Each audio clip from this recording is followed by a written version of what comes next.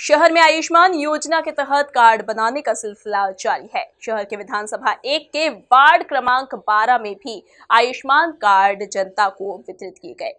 देखिए वार्ड क्रमांक 12 में जनहित के कार्यों के लिए सदैव आगे रहने वाले गुलशन यादव ने एक बार फिर वार्ड की जनता को सौगात दी है, जहाँ उन्होंने जनता के लिए आयुष्मान कार्ड बनाने का बीढ़ा उठाया था, जिसे पूरा करते हुए उन्होंने सैकड़ों की संख्या में वार्डवासियों को आयुष्मान कार्ड का वितरण किया, जिसमें मुख्य रूप से पूर्व विधायक सुदर्शन गुप्ता समेत बड़ी संख्या में भाजपा कार्यकर्ता मौजूद थे। हमारे देश के प्रधानमंत्री माननीय नरेंद्र मोदी जी ने गरीब और मध्यम वर्गीय परिवारों के लिए, इलाज के लिए आयुष्मान योजना लागू की और इसके अंतर्गत पाँच लाख रुपए तक का इलाज गरीब और मध्यम वर्गीय परिवार कर सकता है।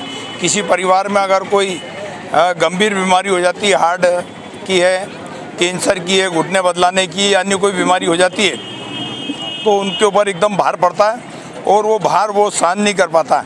उन्हें बाज़ार से अन्य जगहों से कर्ज लेकर ये वहन करना पड़ता है।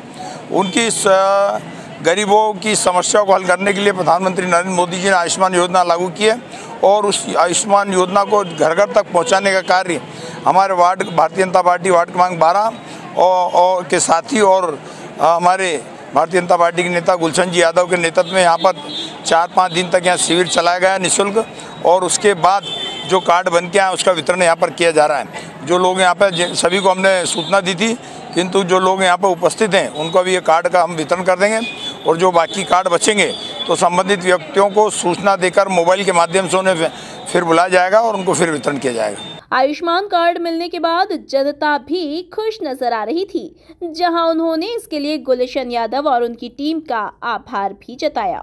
देखिए हमारे वार्ड क्रमांक बारह के मेरे साथ, वार्ड क्रमांक बारह के हमारे साथियों ने। इस दौरान सैकड़ों की संख्या में वार्ड वासियों को आयुष्मान कार्ड वितरित किए गए। Bureau report MP news Indore.